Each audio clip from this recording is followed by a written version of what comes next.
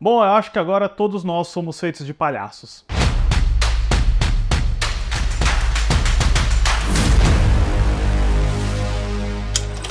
Olá, fãs da sétima arte, meu nome é Lucas Nascimento e esse é o Lucas Filmes e hoje eu tô aqui para falar finalmente sobre Coringa, Delírio A2, novo filme da DC dirigido pelo Todd Phillips que estreia essa semana nos cinemas. Mas antes eu pedi para você curtir esse vídeo, se inscrever no canal e ativar o sininho para não perder notificação dos próximos vídeos. Eu vou ser muito sincero com vocês, pessoal, quando começaram a falar e discutir a possibilidade de uma continuação de Coringa, eu não achava que era uma boa ideia, eu não achava que precisava, porque o filme de 2019 que eu comentei aqui no canal é um experimento muito conciso e direto no que ele está tentando fazer em contar essa história de origem do Coringa do Joaquin Phoenix, que toma emprestado aí várias referências do Martin Scorsese, do cinema dos anos 70. Então para mim era um filme redondinho, tava lá, não precisava mexer, mas com um filme tão barato que rendeu 11 indicações ao Oscar, mais de um milhão de dólares nas bilheterias, é ingenuidade pensar que Hollywood deixaria algo assim intocado, né? E na verdade, veio meio que parte do próprio Todd Phillips e do Joaquin Phoenix,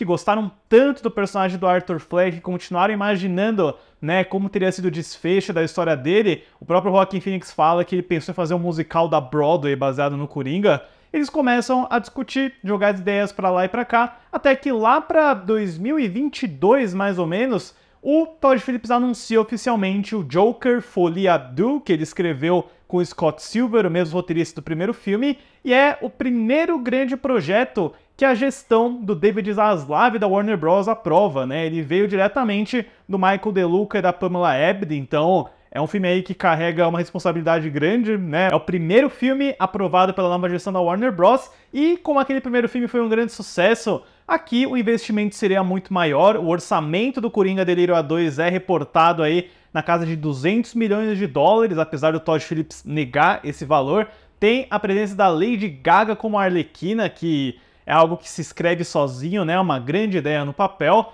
com as filmagens acontecendo de dezembro de 2022 até abril de 2023 em Los Angeles e Nova York, né? Eu até lembro dos vídeos de set, era quase como se eu estivesse vendo o filme ali nesses vídeos de Instagram, de Twitter, e é curioso notar que várias daquelas cenas não apareceram no produto final. Resultado, né, chegou agora em 2024, quase cinco anos exatamente desde o lançamento do primeiro filme.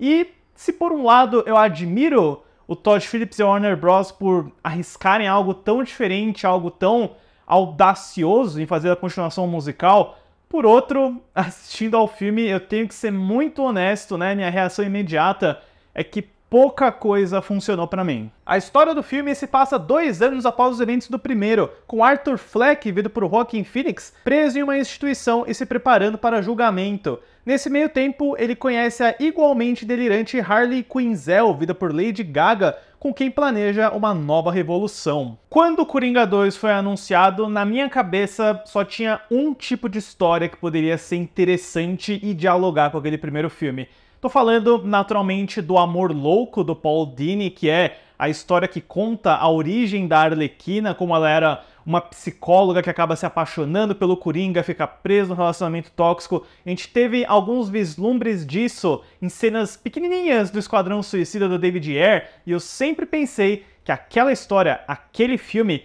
poderia render algo muito legal, muito interessante, até se você brincar em como o Coringa toma emprestado o Taxi Driver o Rei da Comédia, eu penso, poxa, imagina um Coringa 2 pegando emprestado um estranho ninho para colocar o Joaquin Phoenix como um paciente né, excêntrico de uma instituição psiquiátrica, junto com a Arlequina se transformando nessa grande vilã. Isso é totalmente pessoal meu, sempre imaginei o filme assim. E agora a gente tem uma versão bem diferente de tudo isso, né? Nós acompanhamos o Arthur Fleck na prisão, que é do Instituto Arkham, e a Arlequina é apresentada como uma outra paciente dessa mesma instituição.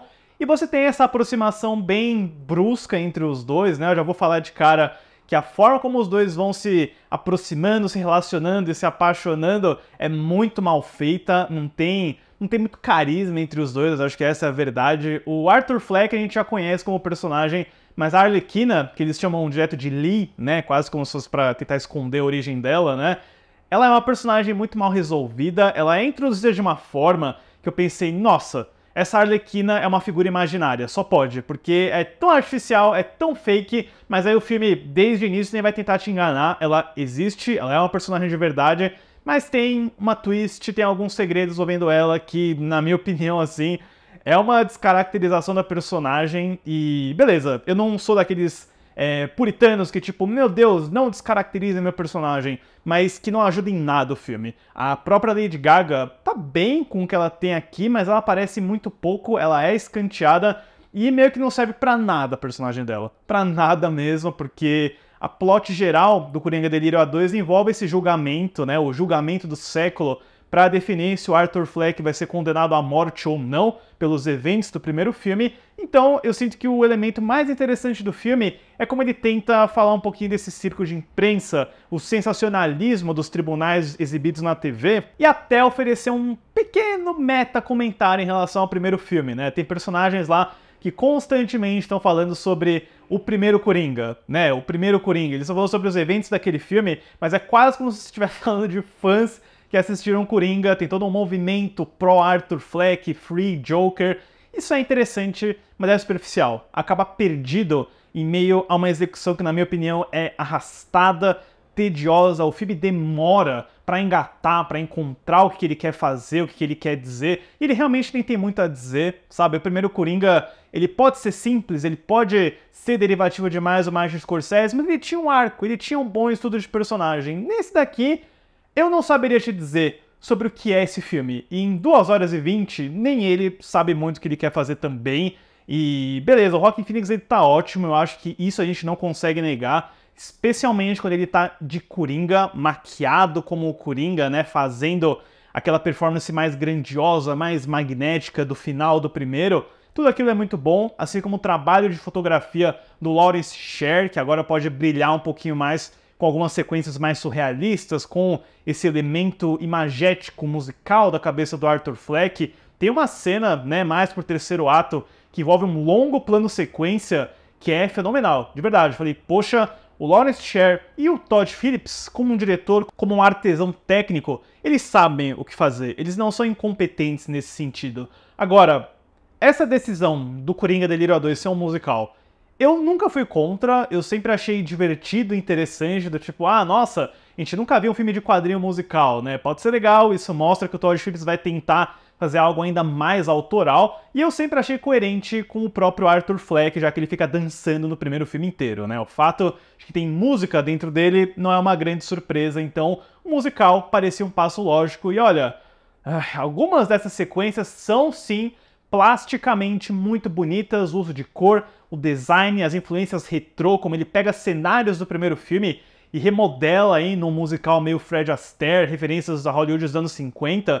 É muito bonito de se olhar, mas olha, não tem nenhuma música boa, nenhuma das músicas ficou na minha cabeça. É, o Rock Phoenix canta, e isso é uma escolha, é uma decisão, mas sem querer falar de um gosto pessoal em relação a cada número, alguns são mais interessantes do que o outro, o filme não tem muito propósito para eles, sabe? Todos eles são na cabeça do Arthur Fleck e o filme sempre te lembra isso, já que antes de todo número musical você vai ter um longo zoom, algum close, alguma aproximação do rosto do Arthur Fleck, quase como se o filme tentasse te falar: não se preocupe, isso é só na cabeça do protagonista. E aí você fica meio que nessa fórmula viciada e episódica onde os números musicais vão acontecendo, eles não são tão impactantes musicalmente você tem a Lady Gaga ali, sabe? Eu esperava algo mais nesse sentido. E aí você acaba realmente bem decepcionado, né? Isso porque o filme caminha para um desfecho, uma conclusão ruim. Eu achei muito ruim, de verdade. É tão anticlimático, quase como se o Todd Phillips, eu não sei, quase como se ele tivesse se arrependido de ter feito o primeiro filme e agora ele fala: Quer saber? Eu não quero mais, eu vou me livrar de tudo isso da forma mais preguiçosa possível, porque é irônico que Coringa Delírio A2 seja nitidamente tão bem feito, tão bem produzido, bem fotografado, iluminado, tem um, um trabalho de centenas de milhares de pessoas ali que é nítido, mas ele seja em alma, em execução, em temática também, tão preguiçoso, tão inconsequente, tão nada quanto ele mostra aqui. Pra Coringa Delírio A2, eu dou uma nota 4. Que decepção, pessoal. De verdade, esse era um dos poucos filmes que eu tava mais ansioso para ver no restante do ano, mas acho que acabou se perdendo aí a pretensão do Todd Phillips, o erro, para mim, gigantesco de resolver apostar num tipo de musical que não combina com a história que eles supostamente querem contar. E aí só sobra para mim Joaquin Phoenix, fotografia do Lawrence Sher, algumas ceninhas aqui e ali, mas resulta aí numa das continuações mais frustrantes que eu lembro de ter visto em um bom tempo. Lição para Todd Phillips, né? Que continuações não são exatamente a sua praia. Mas enfim, pessoal, deixe nos comentários depois o que vocês acharam de Coringa Delírio A2 e qual é o próximo vilão do Batman aí que vai ganhar seu próprio filme autoral e musical. Certo, pessoal? Obrigado pela visita e até a próxima sessão.